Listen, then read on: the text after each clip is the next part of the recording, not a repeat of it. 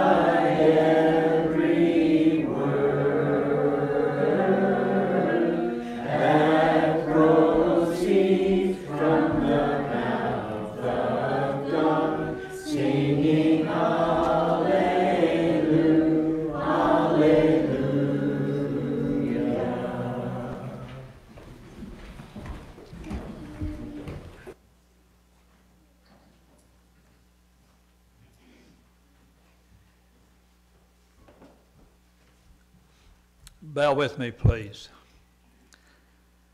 Our Heavenly Father, we thank you for this another opportunity that we as your children have to assemble together. A beautiful day that you've blessed us with.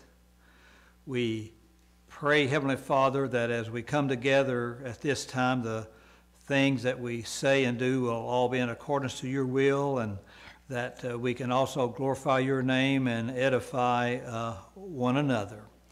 We are thankful for those that are here for class, especially for the, the parents that sees the need to have their children here. We pray that you will continue, continue to uh, bless them uh, as, as the children uh, uh, mature and grow up. We're thankful for our teachers. We pray that you will bless them and they, they can easily remember their lessons that they uh, want to present. We continue to pray for those that are suffering with different issues. Uh, we pray that you will bless and watch over them. We we have Vacation Bible School coming up, Heavenly Father, very shortly. We continue to pray that uh, for adequate uh, help. We pray that uh, we will be able to do those things that uh, will reach uh, many uh, young children and families. We th- pray for our country. We pray, Heavenly Father, that uh, some of the turmoil that's going on, that it can be uh, uh, ceased in accordance to your will. We ask you to be with us as we go to class. Through Jesus' name we pray. Amen. Your mark number 909. 909 will be the song of invitation. Go to your classes.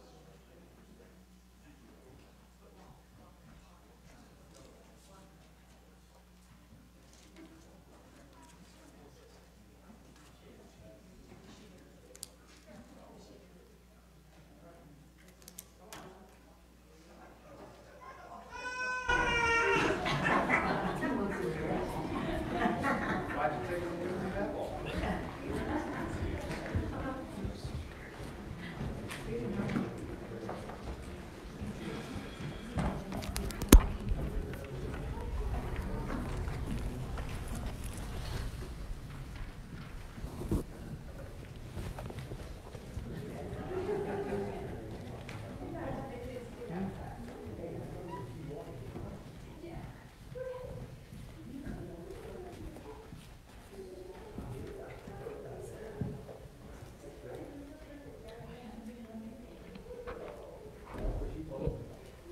Well, good evening. Good evening. Can you hear me, Glenda?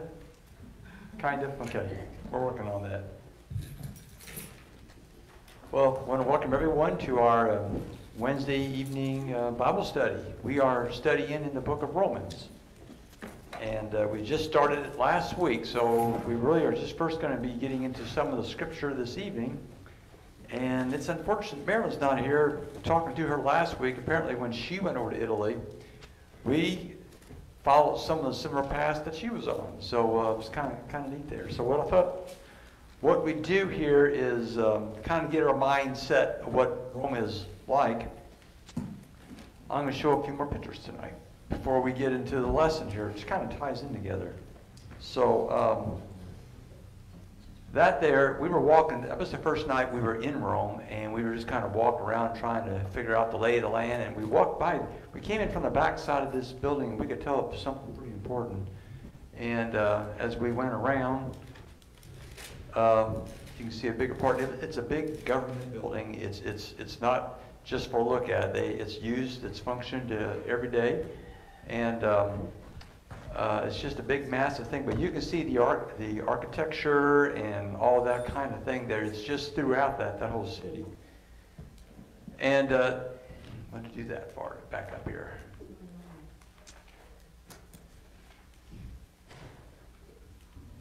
Okay, now we, you saw this last week. This is the top of the prison where both Paul and Peter were at. That's where Paul spent his last days. And but everything that's on top wasn't there then, was what I'm told. The prison was underneath. And in fact, you'll see when you go inside, when you go inside, you see that little fence here. You go in through the door, and then you go down steps, and then you go into that little door, so it's going down. And um, that's what you see on the inside. Now, that I don't think was there either, okay? Uh, but you walk in, and, and that's what you see. And then you look around, and that stairs to the back is where you come in at. And then off to, on the right side, you'll see Angela going downstairs where the jail is actually at. And, and then so we went down into the jail. And in there, uh, that was our first look. As you look, look around, it's a round type of, uh, like a well almost, you know, just not deep. And, but everything is cold and stone. Um, and then that's, again, uh, more to the right. Um, and just imagine how that was back in Paul's time. There's an old metal door uh, along the steps as, as you're going down. My gut feeling is is that was probably the access in and out of there. May have not have been steel then. I'm not sure what it would what it would have been. But it's kind of like you go down steps to get in into the uh, cell. And then there is a hole right on top of the center where they would, I guess, drop food and water in. So, um, so that those are all the pictures for tonight. Uh, but we have more that we'll share in the future here. But there is just so much history to that place, and and um, uh, it's just kind of hard to put your arms around all what has gone gone on. But tonight we are going to focus, starting in chapter one, of Paul writing, and you can almost picture him in that cell writing. So, because there is where he he wrote a, a lot of letters. So, with that, I'd like to have a volunteer to read uh, verses 1 through 7 of chapter 1 of Romans. Okay, Joyce? Paul, a bondservant of Christ Jesus, calls, called as an apostle, set apart for the gospel of God, which he promised beforehand through his prophets in the Holy Scriptures, concerning his Son, who is born of a descendant of David, according to the flesh, who was declared the Son of God with power by the resurrection from the dead, according to the Spirit of holiness, Jesus Christ our Lord through whom we have received grace and apostleship to bring about the obedience of faith among all Gentiles in his name's sake, among whom you are also called of Jesus Christ. To all who are beloved of God in Rome, called as saints, grace to you and peace from God, our Father and the Lord Jesus Christ. Okay, thanks, Joyce. Okay, so um, Paul began his letter in the usual way at the time. Um, the writer's name came first, and then Paul described himself as a servant. And um, a servant in the Old Testament, for example, uh, Abraham and Moses, uh, in Psalms 105, 5 and 6, um, and also in 105, 26, uh, I'll just read that to you real quick here. Remember the wonders he has done, his miracles, and the judgments he pronounced. You, his servants, the descendants of Abraham, his chosen ones, the children of Jacob. And then going on in verse 26, uh, he sent Moses his servant and Aaron whom he had chosen. And so the term servant was very commonly used. And we knew that Paul um, was very well schooled in uh, that area there. Okay. Um,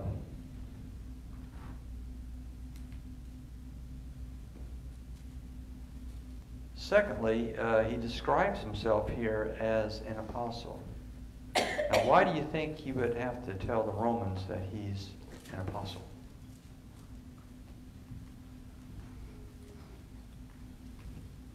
Because he was a Roman soldier that had persecuted Christians.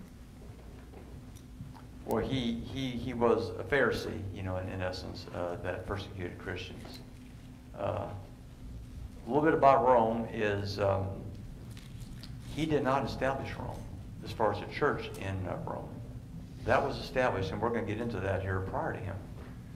So, um, uh, but what he's showing here is he has he had the authority to preach the gospel. You know, and at first, the word apostle, you know, described the twelve apostles. Uh, that was that was Jesus had uh, set up there. You know, we know that in Luke and Mark, uh, where um, in um, Luke, um, Luke six thirteen, when morning came, he called his disciples to him and chose twelve of them, whom he also designated apostles. So Christ set up the the, the apostles, and so now Paul in this letter he's established himself to the church there that he is also an apostle. And um, and Paul basically said that he too had received a special co- command from, from Jesus Christ and God the Father. And that, that's in um, Galatians. Um, who'd like to uh, turn to Galatians and read chapter 1, verse 1?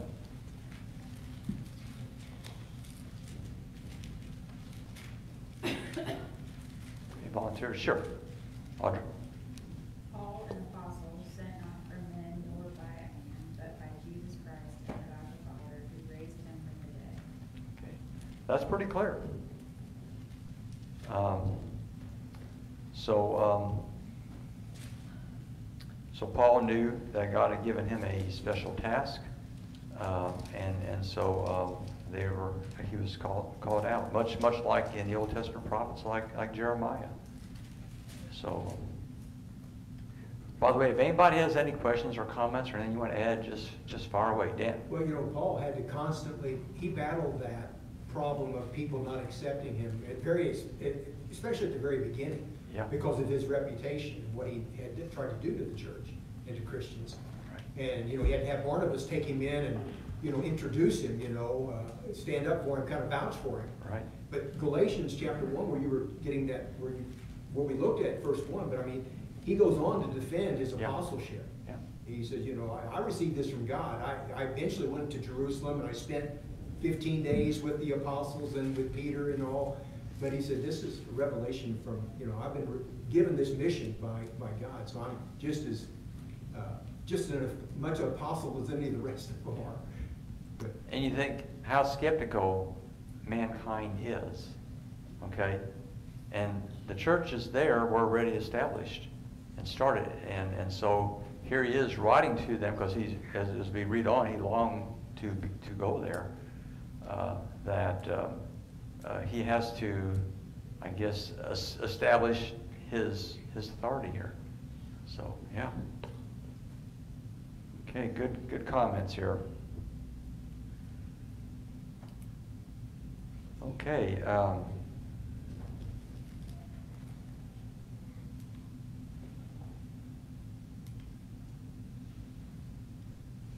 So, um, so the prophets in the Old Testament um, explain that Christ would free people from, from sin. Uh, there are many uh, true promises in the Old Testament about the birth, life, and death of the resurrection of, of, of Jesus. Uh, so going back to in, in verse 2, he's speaking here about the gospel he promised beforehand through his prophets in the Holy Scriptures. So Paul is, is bringing that right, right out of the gate. And, uh, and if we turn to, um, well, it's a long read. I don't think we really want to, unless you want to, but if you go to Isaiah chapter 53 and read the whole chapter, that's all about Christ being prophesied. And, and I'll start off here saying, Who has believed our message and to whom has the arm of the Lord been revealed? He grew up before him like a tender shoot and like a, a root out of dry ground. Uh, he had no beauty or majesty to attract us to him, nothing in his appearance that we should desire him. And you just go on and on and on, and, it, and it's prophesying Christ coming. So, I mean, we can read that if somebody wants to, but um, uh, we don't have to. But we're, you're welcome to. Later? Okay, Stan says later. All right. I said I'll read it later. You'll read it. Okay, all right. Okay. Okay, and then so as it gets into verses three and four, um, these two verses show what the good news is. You know, probably the Christians in Rome would already know these facts. Um, uh, these, um, you know, these, these words in these verses may come from an early statement about Christian belief, but um, but there he he talks of you know um, regarding his son who had or who as to his earthly life was a descendant of David and who through the spirit of holiness was appointed the Son of God and power of his resurrection from, from the dead Jesus Christ our Lord. You know, they likely were on the same page with him.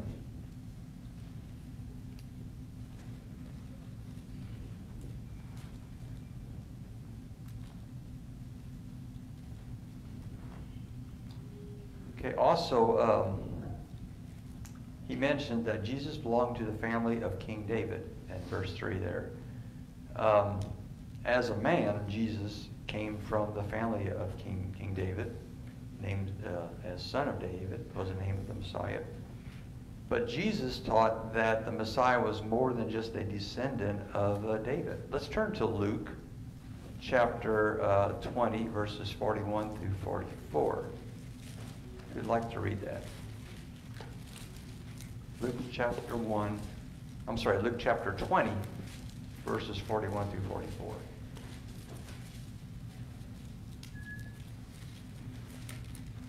Any volunteers? Jack? Luke twenty, 41 through 44.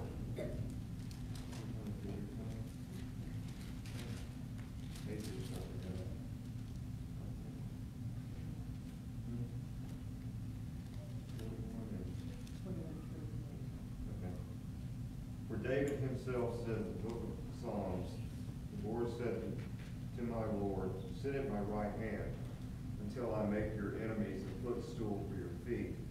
Therefore David calls him Lord, and how is he your son? As he is, he is his son. Okay, so in, in this writing here, uh, Jesus was saying to them, why is it said that the Messiah is the son of David? And then at the very end of that, David calls him Lord. So then if David's calling him Lord, how can he be his son? And so Jesus is pointing that out in the scripture here, that yeah, he was in that lineage of, of man, but he's the son of God. Okay. Um, all right, any comments or questions? Okay, I don't do pop quizzes, but I could. Huh? I wouldn't do that. Okay.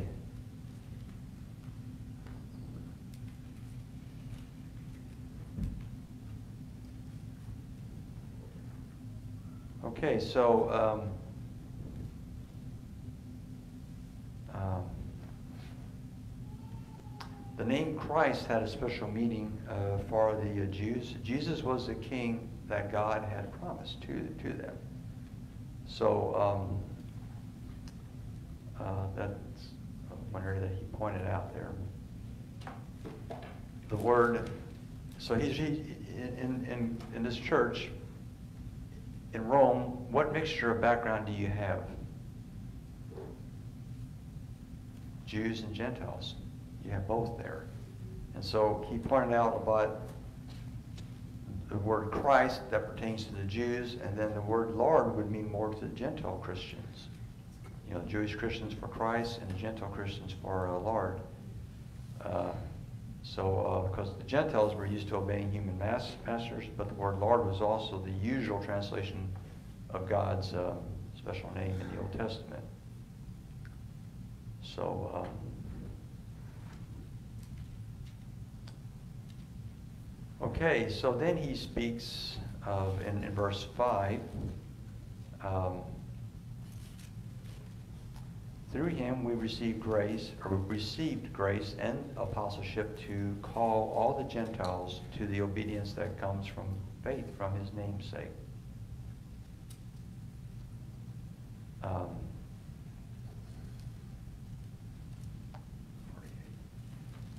so grace, what do we know about grace? What is grace? Unmerited favor. That's right. It's a gift nobody deserves, right? Okay. Paul uh, used to think that he could please God by his his own efforts. You know, he, he uh, back when he tried to to uh, obey all the details of the law, where he you know tried to elevate himself and educate himself. Uh, but now he knew that he could not earn life by his deeds; it was God's God's gift. So, um,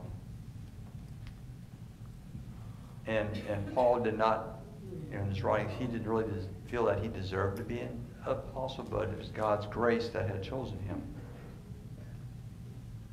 So, um, all righty.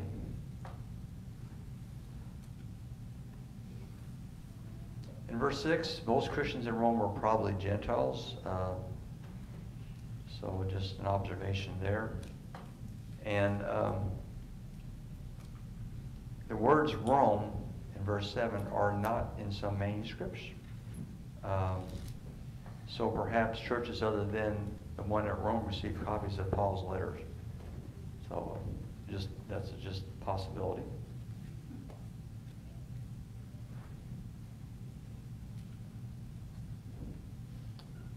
Okay, so um, Paul calls the Christians in, in Rome God's holy people. In the Old Testament, we can read how God loved the Israelites. Uh, he chose them to be his holy nation. So now the Gentiles in, in Rome here were also God's holy people.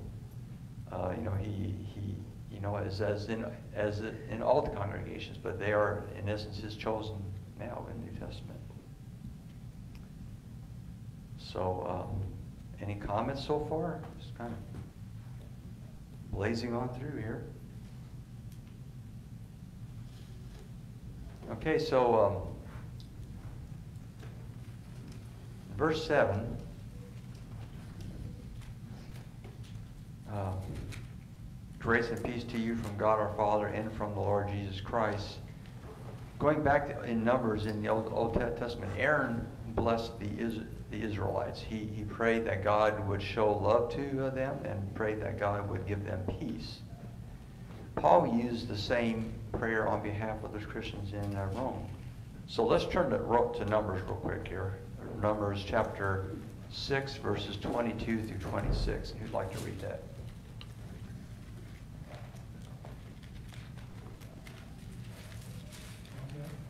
Numbers chapter 6, verses 22 through 26. You want to do that, Terry? Sure. Okay. When is that time?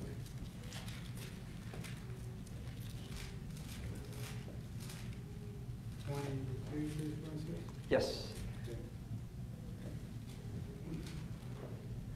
The Lord spoke to Moses, saying, Speak to Aaron and his sons, saying, Thus you shall bless the people of Israel.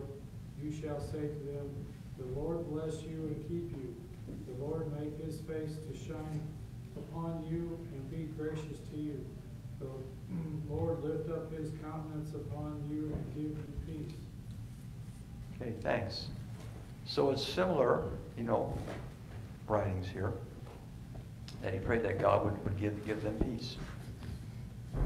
So, um, and he also, as you know, you study Paul and, and a lot of the other letters that he has written, he used the prayer at, at, at the beginning in, in many of, of them.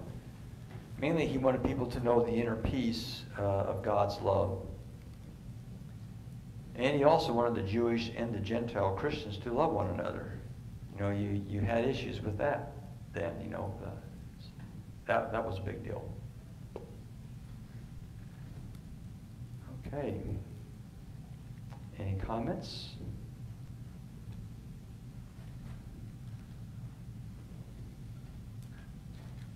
All right, so let's turn to uh, the next verses, verses 8 through 15. Who'd like to read that? Angie. First, I thank my God through Jesus Christ for all of you, because your faith is being reported all over the world.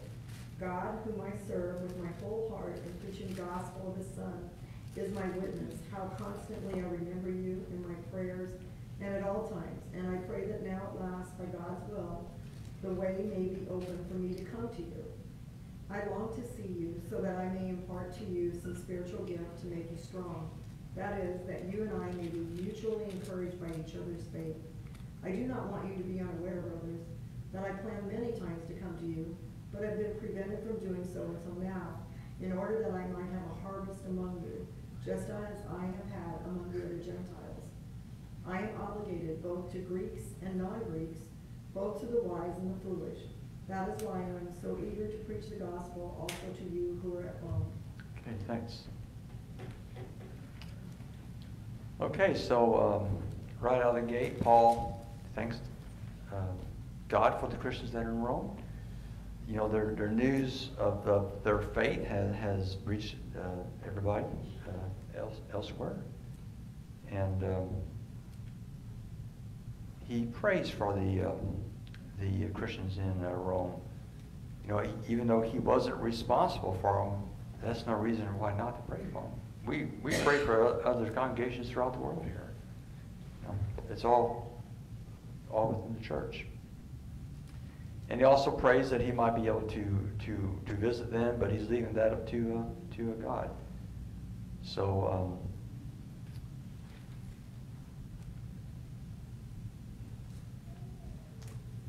he also, in verses 11 and 12, he wanted to make their faith strong.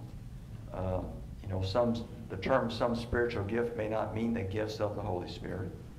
As in 1 Corinthians in chapter 12, you know, perhaps Paul was a. uh, did not yet know what spiritual gifts that the Christians in, in Rome actually needed. Um, you know, since he hasn't been there yet. But God would, would, would show Paul, you know, what to teach them when, when he met them.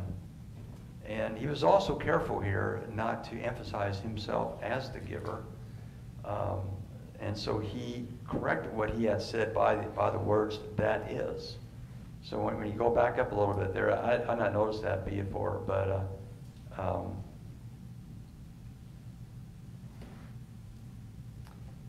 Eleven and then twelve, and in eleven he says, "I long to see you, so that I may impart to you some spiritual gift to make you strong. That is, that you and I may be mutually encouraged by each, other's faith." So he kind of did a pivot there, saying that, you know, um, um,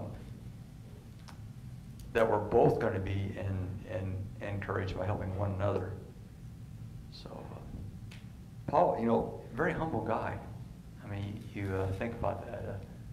Uh, um, I hadn't realized it, but I was talking to Marilyn last week. She uh, she loves studying about about Paul, just in uh, general about his life, and that maybe could be a, a future study for us to uh, tear into. So.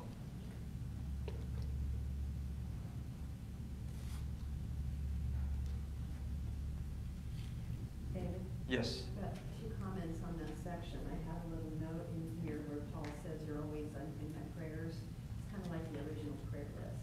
They were on, they were on Paul's prayer list. Yeah. I kind of like that thought. Yeah. Uh, but also it emphasizes our need to come together Yeah. for that mutual encouragement. Yeah. Very good. Paul, Paul had got, wanted to have that with, with the Christians in Rome, and that just emphasizes how much we need that as well. Exactly. We need one another. Each congregation needs the other congregation. Absolutely.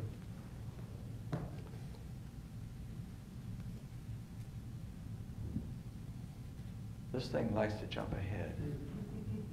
Knows that last week. Okay, and in verses 13 and 14, uh, Paul mentioned that he tried to be before many times to, to, to visit them. We don't know what prevented him. Uh, you know, perhaps maybe his work in Greece, uh, God wasn't ready him to leave there yet. Maybe there was more work to, to be done, but the Bible doesn't specifically spell that, that out. Another thing here, um, Greeks did not merely mean people who came from Greece. It meant those who spoke the Greek language. Uh, and also meant those who followed the Greek culture. So they had some tie-ins to uh, that, but they may not have you know, been directly from uh, Greece. Um, I didn't realize this, but non-Greeks translates the word barbarians. So I'm not sure, but that was about way, way back then. Uh, but it describes people whose language sounded like barbar. So not how we think of barbarians, but their language was barbar, so they're the barbarians. So a little bit of trivia there. So, um, okay.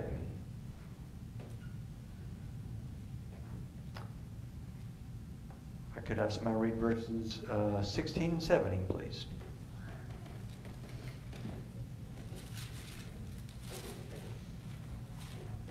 What? For I am not ashamed of the gospel, because it is the power of God that brings salvation to everyone who believes, first to the Jew, then to the Gentile. For in, for in the gospel the righteousness of God is revealed, a righteousness that is by faith from whom, or from first to last. It just says it is written, the righteousness will, the righteous will live by faith. Okay, thanks. Okay, so, um, possible just, uh, Paul, uh, comes out and he, he's not shameful. He says, for I am not ashamed of the gospel because it is the power of God. You know, he was very bold and very clear with, with that. And sometimes I wonder if we're too calm about the gospel. So we're going to spend a little time here about the gospel in, in this section here. Um, you know, uh, what other, whatever other people would say when Paul was talking to him, what, what would he do?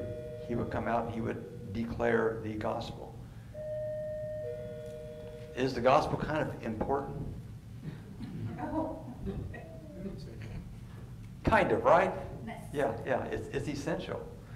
And uh, it's, it's, you know, it's, it's a message for everyone, for every nation. Uh, it, it's essential because it changes pe- people lives and it brings salvation to us. Um, you know, there are many, many other lessons that we are taught in Scripture, but fundamentally, if we don't have the gospel, we don't have it. Sim- Simple as that. Yeah, Dennis. Now, he'll go on to say later on in his letter, you know, that that's where faith comes from. Faith comes from hearing and hearing from the Word of God. Yes. From that gospel. So it means a lot to him that, that meaning, meaningfulness gets stuck into him. Yeah, It absolutely. should be the same for us too. You know, we, we, we get, I mean, if you think, think about it, look back in Acts, I mean, it was all about preaching the gospel. Grassroots. And, and, and, you know, as a congregation, we can never forget about that, you know. So, uh, okay, we're gonna run out of time to get through this section, but we'll just go as far as we can.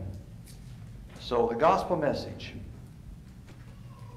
Um, so what is the overview of the gospel message? Everyone has done wrong things, which means has, has sinned uh, against God. In Romans 3, twenty-three, what does that say? We probably know it by, by heart. What, what, Christie? Said, for all have sinned and fallen short of the glory. Absolutely, give her a star, okay? Okay, all right, I don't have it with me. okay. Secondly, because of that, we all deserve God's punishment, right? Let's turn to Romans six twenty-three.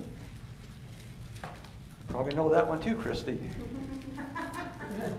I'm gonna plead the fifth.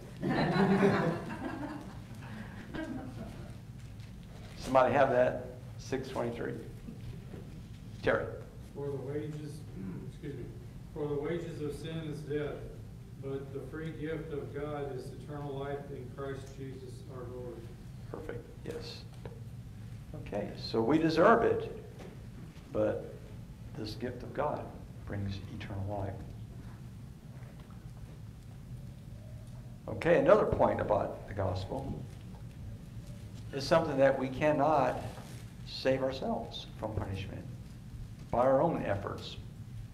We can't even save ourselves by the good works or by our religion, can we? So let's go to Romans 3.20. You'd you like to read that? Yes, Lee. For by the works of the law, no human being will be justified in his sight, since through the law comes the knowledge of sin. Exactly. Exactly. So,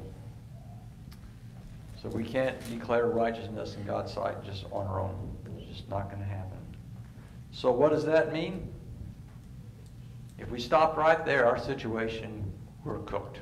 We're goose. You know, we're, we're hopeless. However, as we know, God didn't leave us in that hopeless state. What did God do? He sent His Son. Okay? Um, he sent his son Jesus to the world, and there's verses there, but let's go to John 3.16. You probably know that by heart. Who'd like to read that?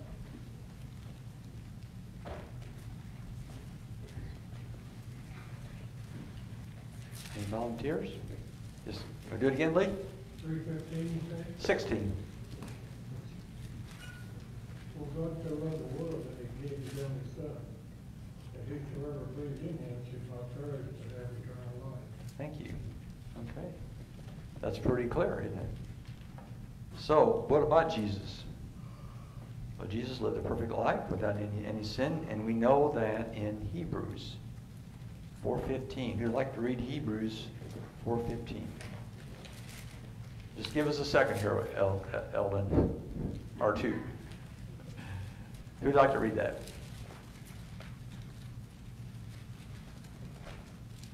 Whitney?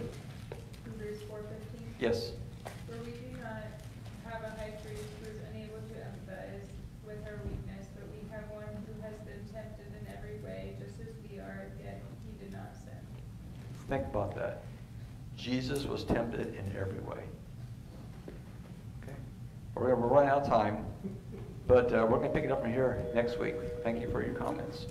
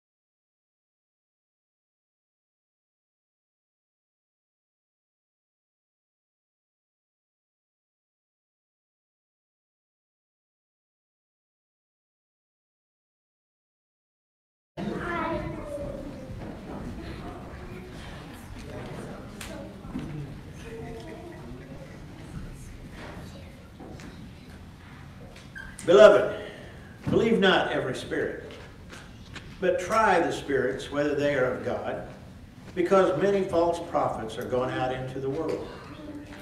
Hereby know you the Spirit of God. Every spirit that confesses that Jesus Christ has come is of, in the flesh is of God. And every spirit that confesses not that Jesus Christ has come in the flesh is not of God. And this is that spirit of Antichrist, whereof you have heard that it should come, and even now already is, in, is it in the world. Beloved, let us love one another. For love is of God, and everyone that loves is born of God and knows God. He that loves not knows not God, for God is love. Sounds like a song, doesn't it? Thank you. In this was manifested the love of God towards us, because that God sent us sent his only begotten Son into the world that we might live through him. Herein is love, not that we loved God, but that he loved us and sent his Son to be to be the propitiation for our sins. Beloved, if God so loved us, we ought also to love one another. No man has seen God at any time. If we love one another, God dwells in us, and his love is perfected in us. Hereby know we that we dwell in him, and he is in us, because he has given us of his Spirit. And we have seen and do testify that the Father sent the Son to be the Savior of the world. Whosoever shall confess that Jesus is the Son of God, God dwells in him, and he in God. And we have known and believed the love that God is to, has to us. God is love, and he that dwells in love dwells in God, and God in him. Herein is our love made perfect or complete, that we may have boldness in the day of judgment, because as he is, so are we in this world. There is no fear in love, but perfect love casts out fear, because fear has torment. He that fears is not made perfect in love. We love him because he first loved us. If a man says, I love God, and hates his brother, he is a liar. For he that loves not his brother whom he has seen, how can he love God whom he hasn't seen? And this commandment have we from him, that he who loves God loves his brother also. This is from 1 John chapter 4 initially verses 1 through 3 and then verses 7 through 21 but i think it lets you know john uh, this book of first john I, I, I, love because it lets us know how important love is in our lives as christians. And if we don't have it if we don't love each other as christians we got a big problem. And he goes on to say in the next chapter verse 5 chapter 5 excuse me in verse 13 he says these things have i written unto you that believe on the name of God, Son of God. Why? That you may know that you have eternal life, and that you may believe on the name of the Son of God. Okay, so he's writing to tell them this, this love is important. This stuff is written, for, you know, so that we can know that we have eternal life, but we can't have it without that love. It's so important to us.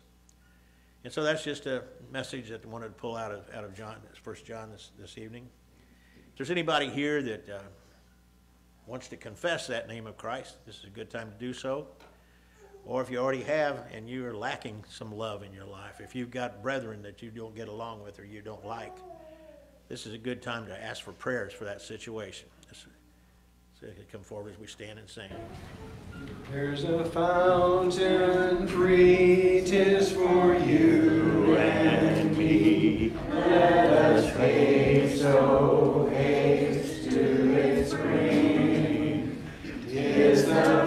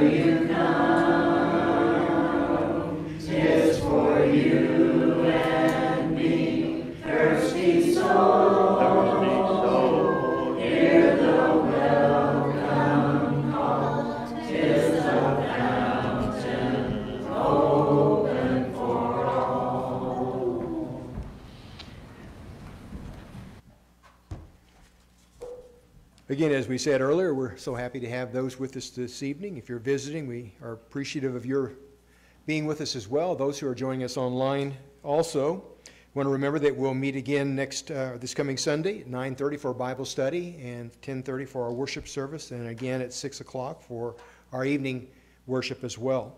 Uh, one other additional announcement uh, that need to make is this is from Joyce concerning her uh, her sister Karen. Uh, please remember uh, Karen in your prayers. She will be undergoing several tests over the next three weeks. And she says that her health has been deteriorating recently, and with all, with her, or with the family's history, uh, that Joyce is concerned. So um, please remember Karen and uh, the family as uh, she goes through these tests over the next several weeks. And then also Ryan is, uh, is out of town. That's why he is not here. You may know that already, but he is uh, speaking at, um, at another congregation tonight. So uh, keep him in your, your prayers. I'm assuming that the family is with him as well as they travel back this evening. That's all the announcements that I have at this time. So ask Brother David if he'll lead us in closing prayer.